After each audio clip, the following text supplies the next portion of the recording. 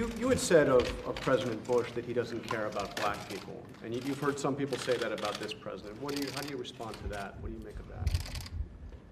I think we need to care about all people. And I believe that when I went on to NBC, I was very emotional and I was programmed to think from a victimized mentality, a, a, a welfare mentality. I think that with, with blacks and African Americans, we really get caught up in the idea of racism over the idea of industry. We say if people don't have land, they settle for brands.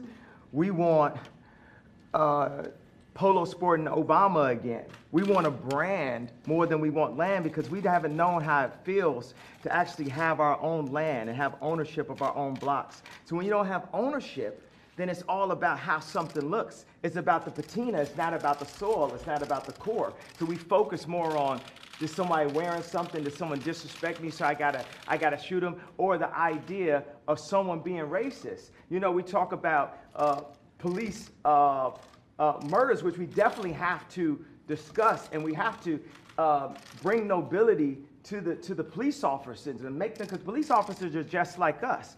But this is this whole hate building, right? And that's a, a major thing about racial tension. And we also, as black people, we have to take a responsibility for what we're doing. We kill each other more than uh, police officers. And that's not saying that the police officer is not an issue because they are in a place, a position of power. Uh, but sometimes they're in placement of law enforcement. They need to be law power. It's force versus power.